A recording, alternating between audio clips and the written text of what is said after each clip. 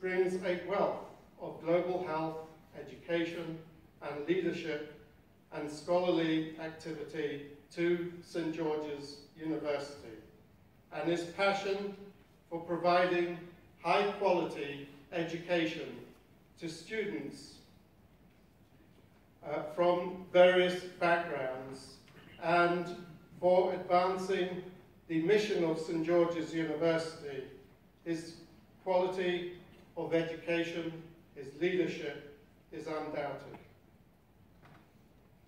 I would now like to invite Chancellor Modica, Chancellor of the University, to confer the presidency on President G. Richard Olds and to bestow on him the symbols of the office.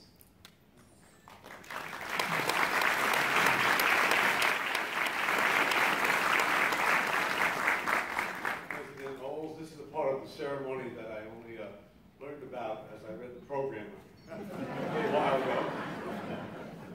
It's good to be candid. But uh, with the presence of the Prime Minister, Baroness Howells, Patrick Adams, I would like them, if, we, if I could ask, to join us here at the podium as I present the medal of the presidency of the university to you. Mr. Prime Minister,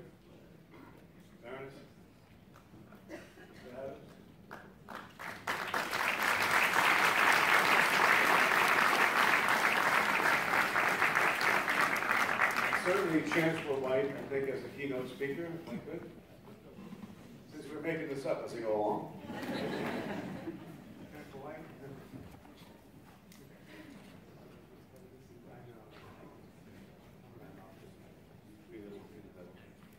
Um, I think we have a medal, uh, uh, the uh, presidential medal. I need the props. you know.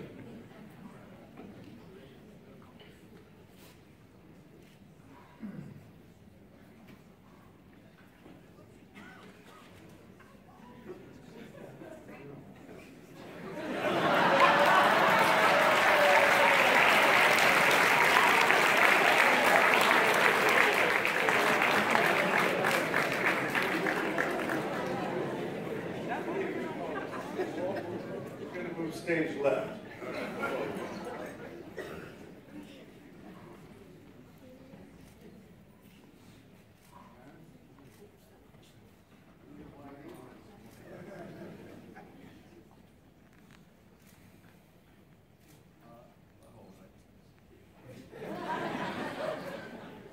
Well, I haven't got the microphone there, so um, it's my distinct honor uh, as chairman of the board of directors and trustees uh, on this day, 40 years after our first class started, to uh, present the uh, presidential medal to Dr. Olds as the first president of St. George's University.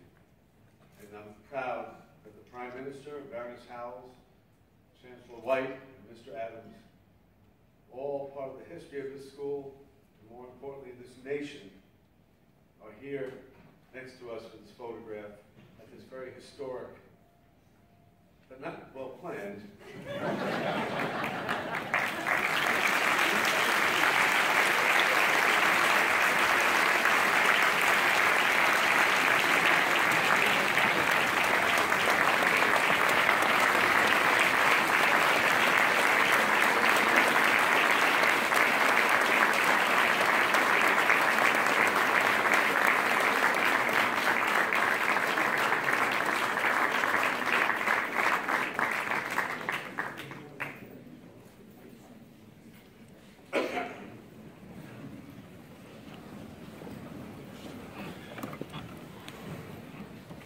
Tim, I guess you couldn't get this up either.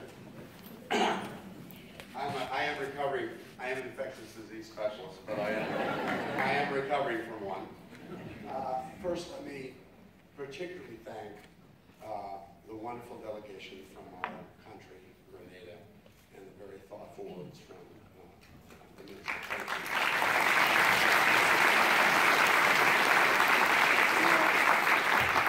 One of the unusual things of being the first president that may have been missed is as a result of that change in the organizational structure, St. George University will now have only one chancellor in the history of this institution. And I want to take a special note to thank Chancellor Modica and his lovely wife Lisa.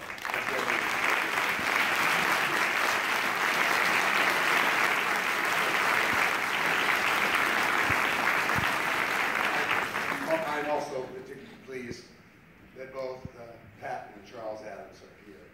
They really represent, you know, both Charles is on the board of trustees and Pat was uh, one of the original founders of this university. You know, these are the people for which uh, the initial creation of an institution started. And it's a rare occasion when you can actually welcome them uh, to an event like this uh, in the history of our school. Thank you for coming, Pat. Now, there are two individuals here that have no connection directly with St. George that I personally wanted to introduce because they're my personal friends that came down from my investiture. Uh, one is uh, Dr. Ken Bridges and his wife, uh, Maria Bridges. Uh, Ken Bridges and I were interns and residents together at the Massachusetts General Hospital a very long time ago. And uh, uh, we have remained friends over the years, and he's going to be giving a wonderful talk, by the way, on Wednesday. Uh, Ken is a, a world authority in sickle cell disease, and uh, uh, when we were house officers again together, I depended heavily on him for help. I, I remember. Thank you for coming. The other, the other individual is another very old friend of mine, Dr. Lee Bidwell. Uh, Lee is another graduate of Case Western Reserve, and he was an intern when I was chief resident. And then, uh, like, kind of like, uh, uh, he stuck with me for over a lot of years. Uh, Lee worked with me for 10 years at, uh, at uh, Metro Health uh, Case Western Reserve, and then came to the Medical College of Wisconsin for my time there and stayed on, and just recently retired as the chief medical officer. And I can tell you, Lee is actually the best doctor I ever met in my professional career. Thank you. Thank you. And of course, I would like to give a very special thanks to my friend and, and colleague, Chancellor White, and his wife, Dr. Karen White. Uh, you obviously appreciate from uh, Dr. White's speech what a, what a wonderful leader he is. But you may not know is that his wife, Dr. Karen White, was our faculty member at the University of California, Riverside, and continues today, even as the wife of the chancellor of that competitive system, still teaches at the University of California, Riverside. Thank you both for making the trip down here. It means a lot to me. And of course, to echo the comments of, uh, of Tim, you know, those of us that stand at this point in our career need to recognize that I, there's no way that I would be here today or been successful in my professional career without the love and support of my wonderful wife, Jackie, for 38 years, my family, represented by my youngest son, Trevor. Thank you all for, for being here.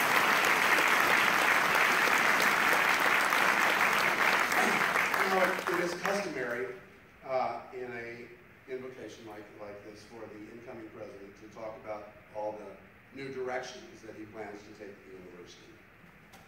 And that really isn't appropriate in this case, because I don't plan to take the university in new directions.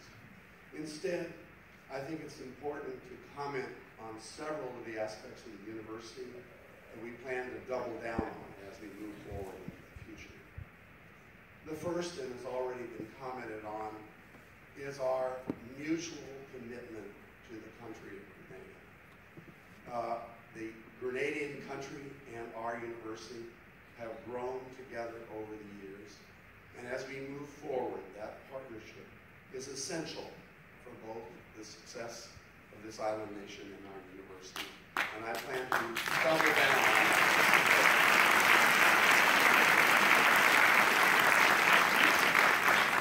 not, only will we obviously continue to uh, um, instruct ever larger numbers of Grenadians, but we plan to be partners in the development of the healthcare system in our country, and that we, we want to be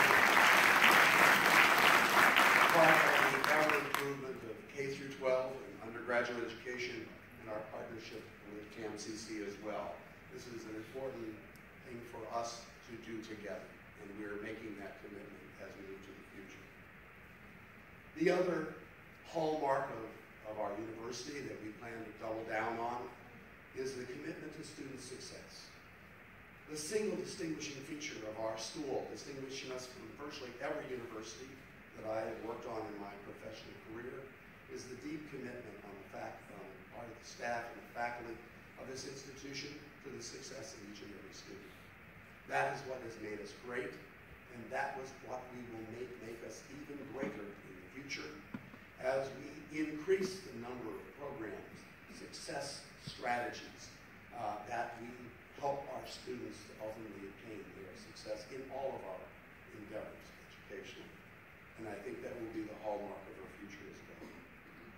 And finally, one of the things that I was most impressed at, uh, with when I took this job was that not only is 1% of all the U.S. physicians alumni of this university, but 75% of the graduates of this university go into primary care fields, which are the very fields that our country needs. The average St. George graduate is twice as likely to practice in an underserved area and will see twice as many Medicaid patients as the average U.S. graduate. I would say St. George.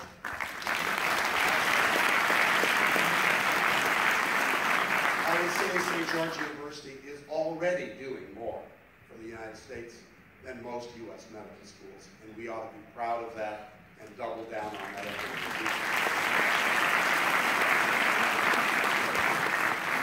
Now, you also expect the new president to have a few new ideas, and so I'll comment on three directions uh, I believe the university will be going, which are the same general directions we've been moving on, but we will need to do different things in the future be as successful as we've been in the past.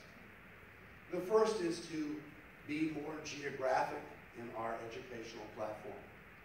Historically, most of the third and fourth year medical school was taught in New York and New Jersey, where today about 65% of our clinical platform is. But we are recruiting students from all over the United States and from 140 countries. And we need to develop an ever-enlarging clinical platform that reflects the students that we are recruiting. We need more places in California, Florida, Illinois, and in other countries where we are increasingly recruiting more students. The second thing is that it is no longer sufficient for us to work on the narrow part of the pipeline. We have the pre-med programs and we have post-bac programs and we have uh, wonderful transition programs for both the medical and veterinary schools and our college in arts and sciences. But that's not going to be enough. We have to build stronger programs on the front end of our university through partnership with universities around the world, such as the Cal State system, where we can offer students a six and a half year uh, program from freshman college to the MD degree or veterinary degree this not only decreases the cost of education, but accelerates the training of needed professionals for our world uh, uh, stage. We also need work on the other end. It is no longer adequate for us to just train doctors and hope that they get residency training programs after our graduation. We need to be actively involved in the expansion and growth of graduate medical education as well in the United States, that is actually where the choke is on the manpower flow. We must be active in developing new residency programs in the locations that have the greatest needs and in the specialties which are in shortest supply. And that needs to be part of our future. And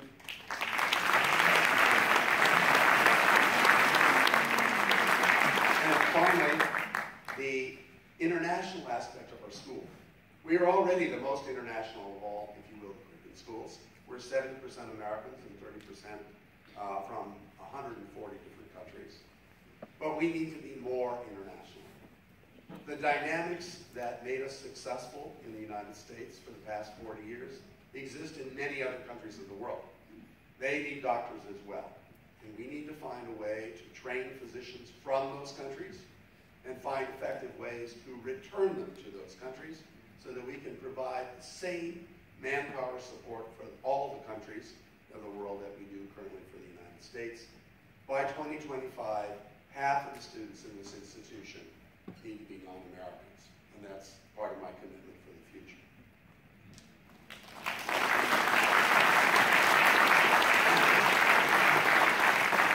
Let me close with some personal statements. I'm glad I didn't go immediately after that, that wonderful song. Uh, you don't know the half of it. it. I didn't ask for that song. Somebody obviously talked to my family. Uh, that was a song that was sung at my father's funeral. And so that was, I, I was having a hard time holding it together. I was looking over at my son Trevor. I had a sneaky suspicion that came from him. Uh, that was my father's favorite song. And as uh, Chancellor White has already mentioned, uh, my father was one of my greatest influences all my life. He was a president of three different universities in the United States. And uh, it's true, I, I learned many lessons from my father. And so I'm going to close with some personal comments about those that assume leadership positions, not only in higher education, but in life. We can't always anticipate what the future will hold, what difficulties will arise, what situations will demand of us. So it's important that we remember that in positions of responsibility, we have to make many tough decisions. And when tough decisions arise, it falls on us to think carefully about what the impact of those decisions are on the long-term future of our institution. Now, some of you will visit my office and you will see a small 3 by 5 black and white photograph on my desk. It is a photograph of the commencement party from the 1964 Springfield College commencement. You will, of course, all recognize Dr. Martin Luther King. Most of you will not recognize my father, Dr. Glenn Olds. The story was even tougher than the FBI.